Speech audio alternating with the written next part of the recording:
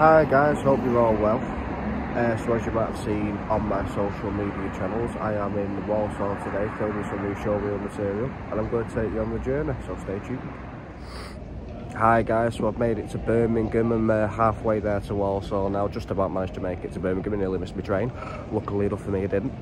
Um, Manchester trains or Avanti or whoever runs the trains I need to sort your coffee out because the coffee's terrible. Um, but yeah, made it to Birmingham and I am waiting for my next train to Walsall. So uh, yeah, keep keep watching. Fancy a ride?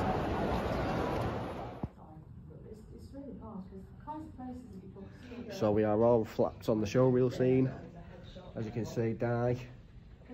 There he is. Had lots of fun and you're going to see a new scene very, very soon.